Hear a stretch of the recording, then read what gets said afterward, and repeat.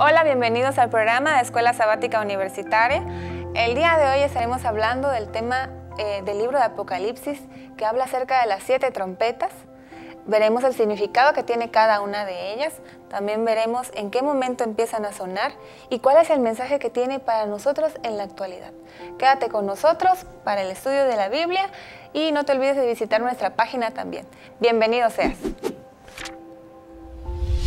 sino que en los días de la voz del séptimo ángel, cuando comience a tocar la trompeta, el misterio de Dios se consumará, tal como lo anunció a sus siervos los profetas. Apocalipsis 17.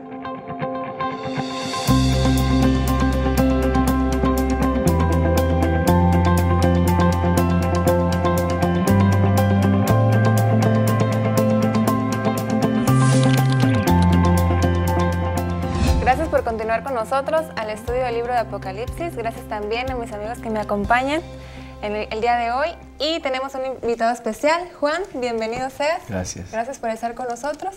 Vamos a iniciar el estudio de la Biblia con una oración. Keila, ¿quieres acompañar? Claro. Padre nuestro que estás en el cielo, santificado es tu nombre. Gracias Señor porque eres bueno, porque nos permites estar aquí. Bendice nuestras mentes, nuestros corazones, las palabras que digamos y también bendice a todos los que nos acompañan en los diferentes lugares en sus pantallas. En el nombre de tu Hijo Cristo Jesús. Amén. Amén. Amén. Ok. Juan, gracias por estar aquí. Gracias porque nos compartes de la experiencia que tuviste cuando se te reveló las visiones. Quiero hacerte una pregunta. ¿Qué fue lo que viste cuando el Cordero de Dios abrió el séptimo sello?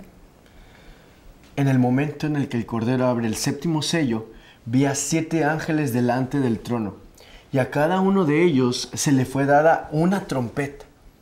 En ese preciso momento llega un octavo ángel con un incensario de oro y le fue anexado aún más incienso para que agregara ese mismo incienso a las oraciones de los santos. De su mano salía humo hacia el trono con las oraciones de los santos. Y entonces él agarra el fuego del altar y lo pone en el incensario y lo lanza a la tierra. Y en ese momento surgen relámpagos, truenos, voces y hasta un terremoto en la tierra. Wow, qué interesante. Muchas gracias, impactante. Cada visión de Juan nos sorprende más. Sí, ¿no? no, o sea, no sé qué nos depara para las lecciones siguientes. Sí. Aquí nos está hablando de algo que pasaba en el cielo, en el santuario. ¿Alguien puede comentar qué es lo que hacía? Pues en, el, en la práctica normal de los judíos en los tiempos de Jesús y antes y un poquito después, se llevaba a cabo este tipo de, de ritos, ¿no? En los servicios vespertinos del santuario, el sacerdote entraba con, las, con el incienso, un sacerdote designado, y también, bueno, al finalizar el servicio, salía con el incensario. Eh, al salir, sucedía algo pues impactante, ¿no? Tomaba el, tomaba el incensario y lo tiraba contra, contra, el, bueno, contra el suelo. Y obviamente eso producía un ruido bastante fuerte, pues eran metales. Así es que eh, eso pues creaba, bueno, algo, algo impactante, ¿no? Cada tarde de los servicios que se llevaban en el santuario. Recordemos que, eh, que esta aplicación en la cual el ángel pues tira el incienso sobre la tierra y hay una escena de juicio en las trompetas, prácticamente en el Antiguo Testamento se usan en juicio, guerra y fiestas, entonces es un contexto de juicio cuando el ángel lanza el incensario a la tierra, eso significa que la intercesión de Cristo no durará para siempre. Recordemos el día de la expiación. Eh, era una intercesión de un día en especial que el pueblo se preparaba y esa escena está clara representada en la liturgia del, del tabernáculo del desierto del Antiguo Testamento. Entonces, la comprensión del santuario, que según tenemos en Éxodo 25.8, en adelante es un claro ejemplo de cómo podemos entender nosotros esta escena que estamos viendo de Juan. Keila, ¿nos podrías decir qué significa el incienso? Claro, eh, en Apocalipsis 5.8 nos menciona que son las oraciones de los santos. Entonces, recordamos ahí que Dios está al pendiente de las oraciones, que no los ha olvidado y en su momento hará el juicio. Y bien, cuando menciona lo del ruido del incensario al caer, hace referencia que es un anuncio, o sea, es algo estruendoso que se tiene que dar a conocer. De que Dios está listo a responder Claro. las oraciones. Sí, hay que estar pendiente, ¿saben? Muchas veces pensamos que Dios es un Dios ajeno, pero realmente esto nos enseña que Dios es un, personal, es un Dios personal, perdón, que es un Dios que está al pendiente de cada uno de nosotros y esta escena nos muestra claramente de que la oración aún es útil en nuestros tiempos finales. Sí. Es la oración que invoca a Dios para que se acuerde de su, de su pueblo, ¿no? Vamos a ver entonces el significado que tiene cada una de las trompetas. ¿Cuál es el significado de la trompeta y qué relación tiene también con el incienso? Porque cuando se lanzaba el, el incensario se tiraba al piso, entonces era donde terminaba el culto vespertino con el toque de las trompetas.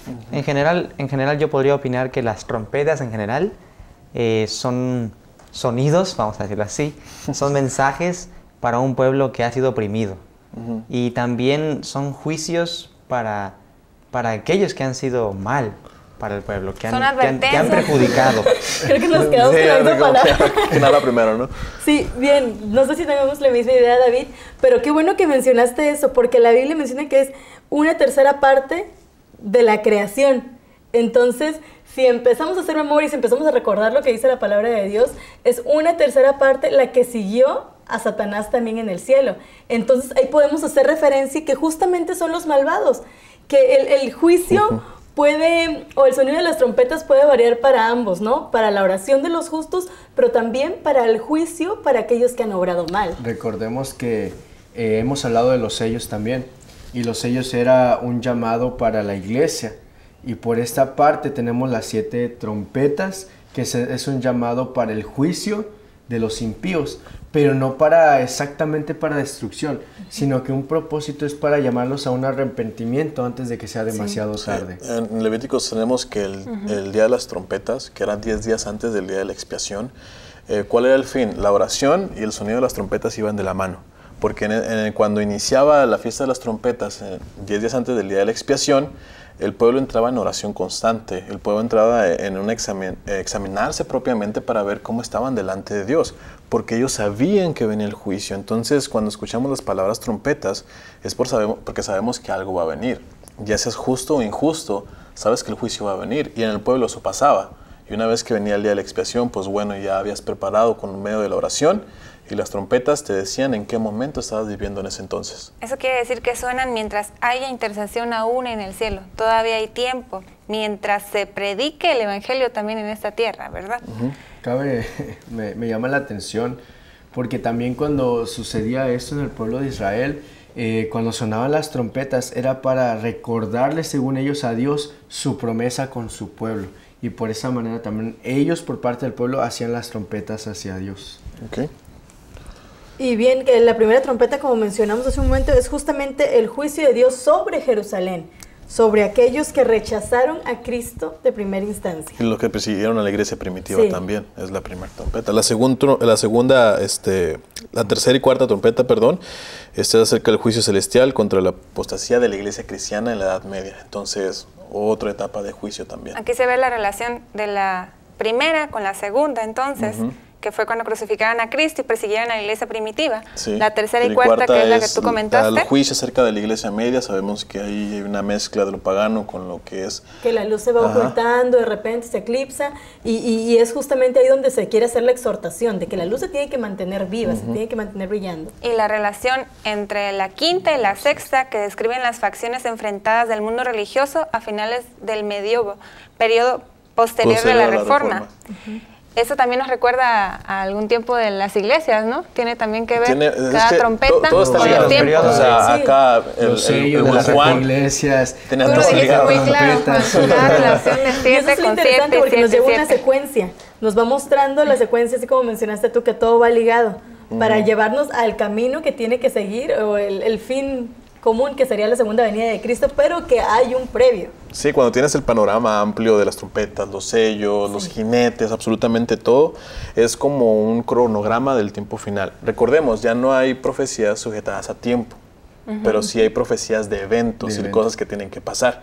Entonces ahí nosotros podemos identificar por medio de la revelación que Dios te ha dado en qué tiempo estamos viviendo y es el momento de reflexionar. Hay algo interesante eh, que pasa antes de, la última trompeta también, que es ah. algo del preludio, no sé.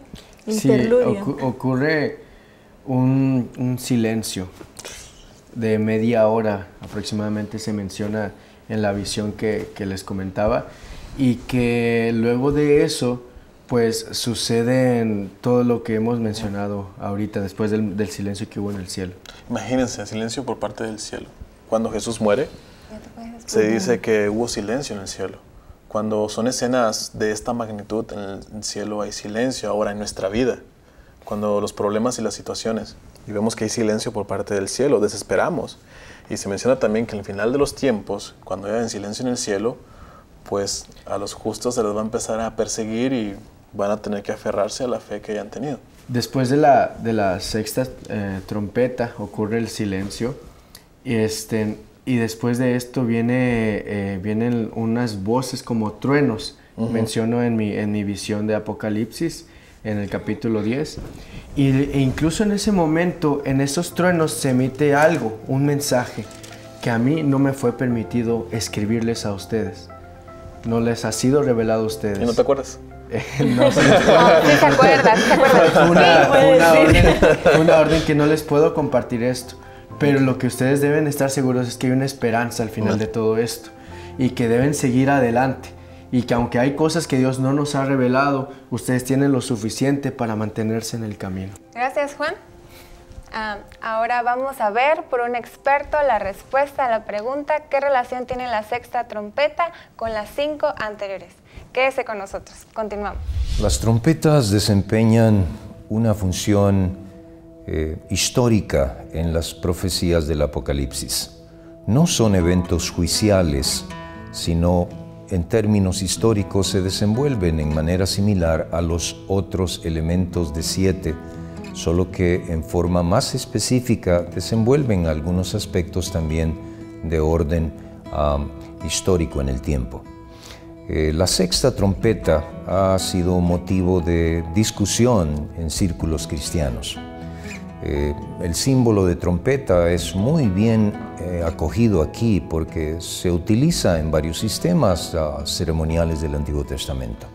La vemos en procesos militares para llamar al pueblo a reunirse para la batalla, en procesos de orden religioso cuando se reunían también alrededor del santuario.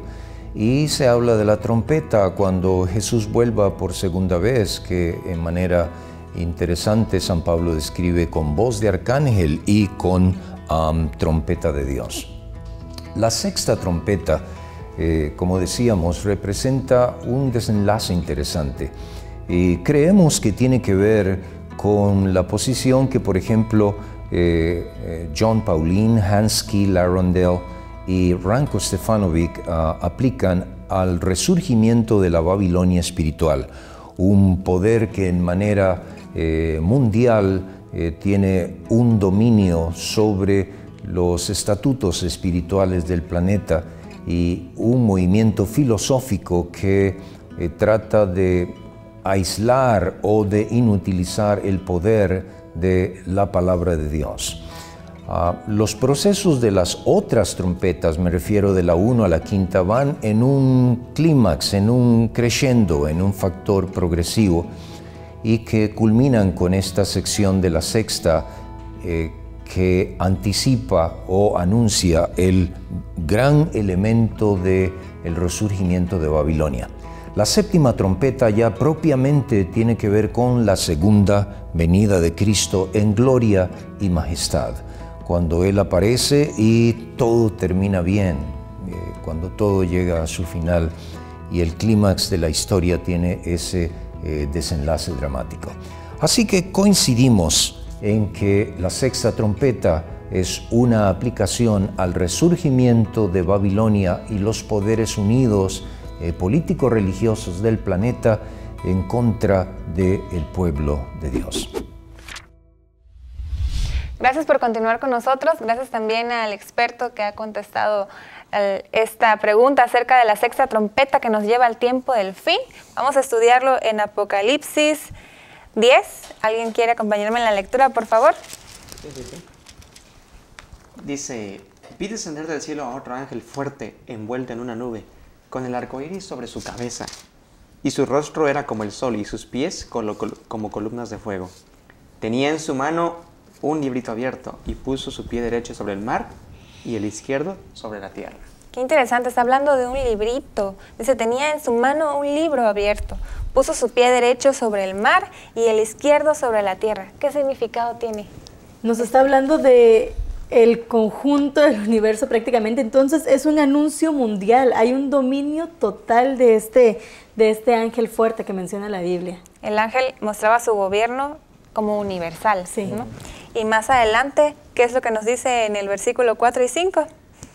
Cuando lo, dice, cuando los siete truenos sometieron, hubieran emitido sus voces, yo iba a escribir, pero hay una voz del cielo que me decía, sella las cosas que los siete truenos han dicho y no las escribas. Fue lo que nos dijo Juan hace rato. Sí, nos dejó con suspenso. Que nos dejó ahí con ¿Qué nos va a decir? Y dice que le dijo, el tiempo no sería más.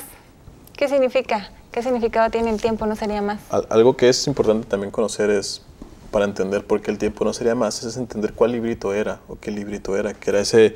¿Y quién era el ángel que Ajá, y ahí? quién era el ángel. Y el ángel nosotros sabemos que es Cristo. Cristo. Nosotros tenemos una revelación y que es Cristo. Entonces, ¿el librito cuál es? A Daniel se le mencionó, tienes que sellar este libro y hasta el tiempo final es cuando se vea revelado.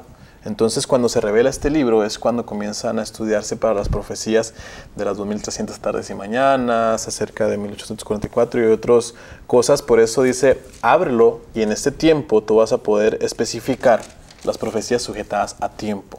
Entonces, es por eso que viene el contexto de tiempo Más que tú estás comentando más adelante. Cuando la Biblia nos dice el tiempo no sería más, se refiere a...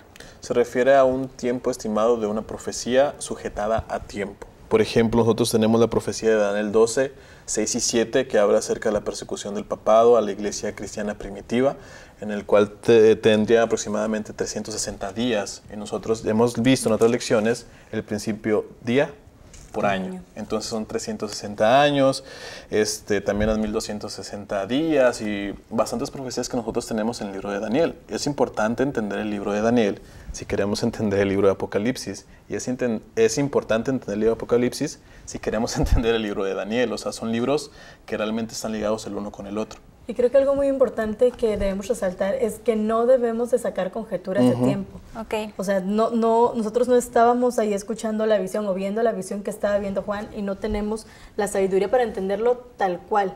Entonces es un error cuando nosotros tratamos de poner fechas o tiempo. Sí, es- eh, termina, perdón, eh, la profecía, la última profecía sujetada a tiempo que nosotros hemos estudiado es la de 2300 tardes y mañanas. sí. Entonces el santuario sería purificado. Y según la interpretación historicista que nosotros tenemos de la profecía, termina, ¿qué día? El 22 de octubre de 1844. Y ahí es la última profecía sujetada a tiempo. Y ya de ahí nada tendría un significado profético. Después de, según la, la cita de ella, ¿cómo podemos evitar entonces nosotros computar todo tipo de fechas futuras? Pues no podemos. En realidad no hay eh, tiempos precisos en los cuales nos dice es que va a pasar esto. Lo que sí nos han dejado son eventos, son cosas que tienen que pasar. Sean los desastres naturales, sean algunas persecuciones, sean algunos decretos nacionales, todo eso nos orienta hacia el tiempo en el cual estamos viviendo. Eh, no es nada sano poner tiempos en cuanto a la venida de Jesús, porque nosotros sabemos qué es lo que pasa. En primer lugar, el Evangelio pierde credibilidad, porque dicen los cristianos ponen fechas y Jesús no viene, dicen que va a venir tal día y realmente no vino. Entonces nosotros tenemos que entender eso, que Jesús decía que la segunda venida, que la venida del Hijo de Dios iba a venir como ladrón en la noche. Porque, eh, porque ¿quién sabe. espera un ladrón en la noche? No, o sea, "Ay, estoy dormido y espero que el ladrón venga. No, sino por ese agente de, de- de sorpresa que iba a haber acerca de la segunda venida y es donde nosotros tenemos que estar bien despiertos. Sí, qué bueno que, que nos remarcas esto, David, porque así no se desgastan nuestras energías, vamos a llamarlo de este modo, poniendo fechas y creando discusión o creando contiendas y separación, cuando deberíamos enfocarnos justamente en lo que dice la Biblia. O sea, no debemos de poner fechas porque no sabemos cuándo viene, viene como ladrón en la noche. Y, y fíjate que también es importante recalcar que dice comparte este mensaje. O sea, no, no es como que enfócate 100% en, en las fechas de la profecía, sino que esta profecía que te he dado, ¿qué es? Compártela a los A Juan demás. se le da la dirección, toma y cómelo. Te amargará en el vientre, pero en tu boca será dulce como la miel. ¿Por qué le amargó? ¿Cuál es el significado de la amargura entonces? Eh, hablando del contexto de poner fechas, ¿no? Eh, Guillermo Miller eh, estimó que la segunda venida de Cristo iba a ocurrir el 22 de octubre de 1844. Ahí todos estaban listos, los mineritas, los que habían estudiado esta, este evento, estaban listos para el 22 de octubre. Pasó la una de la tarde, las dos, las 11 de la noche, las 12 de la medianoche. Y ellos pensaban, bueno, a lo mejor viene en la noche, porque en la Biblia dice, eh, eh, la venida del Hijo del Hombre será como ladrón en la noche, entonces posiblemente venga en la noche. Y Cristo no vino. Entonces, ¿qué fue lo que pasó en ese entonces? Eh, se menciona por ahí en el testimonio histórico que Hiram Edson dijo, eh, eh, pensando en sí mismo, ¿habrá fallado la Biblia?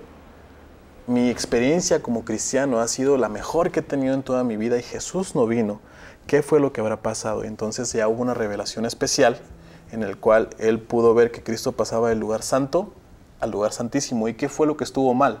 Que el santuario no era el santuario de esta tierra, sino el santuario celestial pero fue realmente una experiencia muy amarga para ellos, realmente una experiencia terrible. Muchos se salieron, quedaron muy pocos esperando este evento, entonces por eso fue una experiencia tan amarga. Y conectando, por ejemplo, lo que ella también decía, de que no debemos gastarnos en pensar en las fechas, porque ellos se gastaron en eso. Eh, vendieron todo lo que Se enfocaron del verdadero sentido. Exactamente. Tenían un buen sentido de misión, pero pues con una fecha que ellos mismos habían puesto eh, con su propia interpretación, ¿no? Y pues vendieron todo, como decías. Ahora nuestra vida diaria, el estudiar Apocalipsis, yo creo que nos da una hermosa experiencia. Eso se nos hace dulce, ¿verdad? El estudio de la Biblia, ¿no? Pero no solamente debemos de estudiarlo, sino debemos de compartirlo. ¿Y qué pasa a la hora de compartir el Evangelio con los demás? A veces sentimos rechazo. A veces, es amargo. Recibimos rechazo. Entonces ahorita lo estamos sintiendo dulce, pero a la hora de compartirlo ya no es tan fácil. Y es en diferentes partes, ¿saben? Eh, a algunas ocasiones es terreno fértil, como dice en la parábola, y la semilla es sembrada. Otras veces nos espinamos como buenos sembradores porque el terreno es complicado y es difícil, pero lo que nos prometió Jesús, recordemos, vemos que Él camina con las siete iglesias es que a donde quiera que nosotros vayamos, Él va a ir y Él va a estar al pendiente de nosotros. Entonces, no hay nada que temer al futuro, a menos que olvidemos la forma en la cual Dios nos ha dirigido y nos ha guiado en nuestra historia pasada. ¿Cuántas veces nos hemos retenido de compartir el Evangelio a los demás? Creo que muchas veces justamente para no exponernos a sentir amargo, para no sentir el rechazo de los demás, decimos, no, mejor que lo haga otra persona que está mejor preparada que yo, por llamarlo de este modo, que lo hagan los pastores, que lo hagan los laicos, qué sé yo. y no, nos, no nosotros como miembros del cuerpo de Cristo vamos y compartimos el mensaje para que otros también puedan sentir dulce al paladar. Veámoslo como un llamado de Dios para nosotros. Dice, es necesario que profetices otra vez sobre muchos pueblos, naciones, lenguas y reyes, ya que todavía nos acercamos al tiempo del fin. Ahora, se menciona en el capítulo 11, entonces me fue dada una caña semejante a una vara de medir y se me dijo, levántate y mide el templo de Dios y el altar y los que adoran en él. ¿Qué significa cuando le dijo, mide, mide el templo? Eh, medir significa figurativamente juicio un concepto de, juicio en el cual el templo pues era medirlo, era la etapa que estaba siguiendo acerca del juicio, no solamente para las personas que habían escuchado de Jesús, sino también para su propio pueblo. Y recordemos, el juicio, ahorita Cristo está intercediendo por nosotros, estamos en el juicio investigador, en el cual intercede por cada uno de nosotros. Entonces la etapa de juicio estamos pasándola ahorita.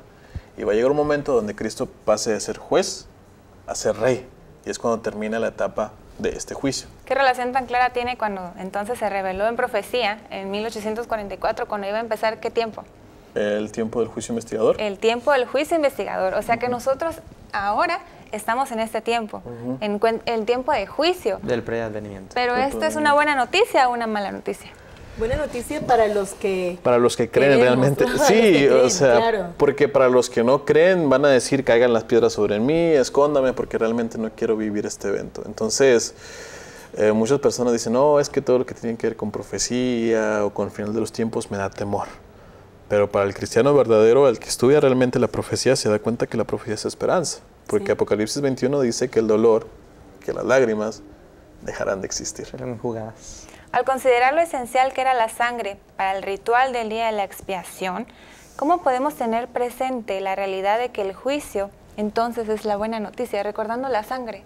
¿La sangre de quién? En el Antiguo Testamento era la sangre de un cordero. En el Nuevo Testamento ya se nos presenta la sangre del De cordero Cristo. inmolado, de Sí. Cristo. Entonces ahí es donde, donde entendemos que, que nuestros pecados han sido lavados, han sido limpios por la sangre del cordero. Entonces es esperanza para nosotros. Dice la palabra de Dios que sin derramamiento de sangre no hay remisión de pecados, no hay perdón. Y recordamos que la sangre de, de Cristo literalmente nos cubre con su justicia. Y es la, la- la buena voluntad que hay dentro de este concepto, que la sangre nos, nos cubre, que el concepto es capar en, en hebreo, y, y podemos entenderlo de esa manera, que cuando nosotros nos presentamos delante del Padre, no nos presentamos con nuestra justicia, sino con la justicia de Cristo.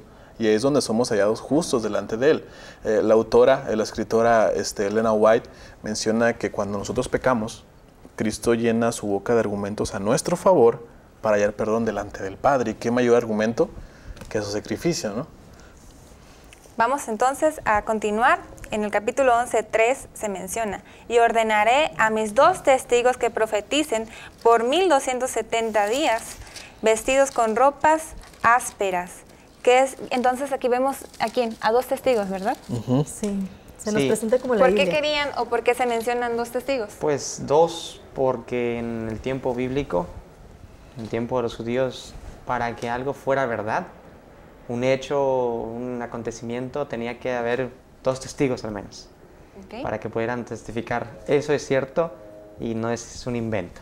De hecho, Cristo mismo nos los deja, ¿no? Cuando alguien tenga algo malo contra ti, ve y habla con él. Y si no quiere, lleva un tes- testigo para ver que esto es verdad. Entonces, Ajá. tiene que ir con veracidad. ¿Cuál- esa- ah, ¿Quiénes bueno. son los, los dos testigos entonces? Aquí nos menciona el estudio que se refiere al Antiguo y al, Nuevo, Testamento. En esta intertextualidad que existe dentro del, del texto, que nosotros debemos comprender que la profecía es importante conocerla, pero no solamente en Apocalipsis, sino en toda la Biblia. La relación entonces está vinculada con la sexta trompeta. Ambos se relacionan dentro del tiempo del fin, cuando la predicación global del Evangelio será necesaria que se lleve el espíritu de profecía. Entonces, va ligado tanto el estudio de la Biblia con el espíritu de profecía para poder anunciar que ahora tenemos tiempo de poder, poder ir a predicar a los demás acerca del tiempo de fin. Gracias por co- acompañarnos en el estudio de esta hora. Eh, espero que hayamos podido entender algunas lecciones para nuestra vida y para la predicación global del Evangelio era necesario entonces el espíritu de profecía con el Evangelio. La séptima es el momento en el que Dios asume el gobierno legítimo.